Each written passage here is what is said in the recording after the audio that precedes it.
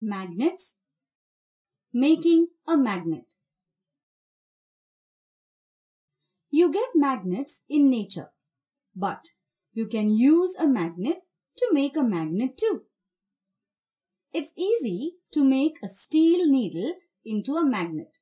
Stroke the needle several times with one end of a bar magnet. Make sure you always stroke in the same direction. Always use the same end of the bar magnet.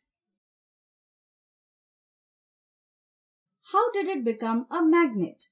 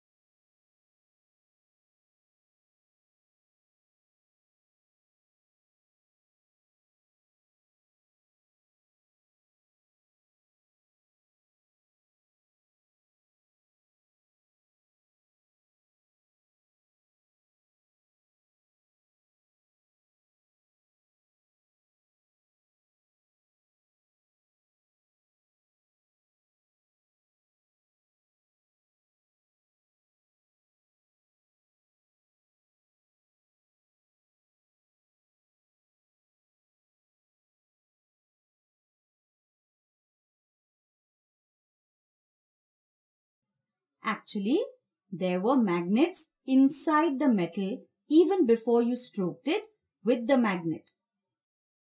There are mini magnets in a substance, only they all point in different directions. When the bar is magnetized, all mini magnets line up in one direction and make a single magnet.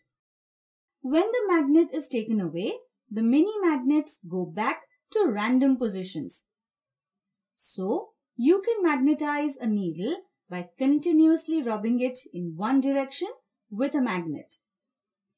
Make sure you are always touching the same pole.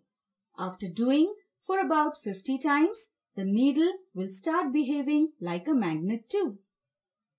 What happens if a magnet is cut in half? Think it makes two new magnets. Each magnet has a north pole and a south pole. What happens if a magnet is cut in half again? If each is cut into half again, it will make four magnets. Even the tiniest magnet will have a north pole and a south pole. You cannot separate the poles of a magnet. Why does this happen?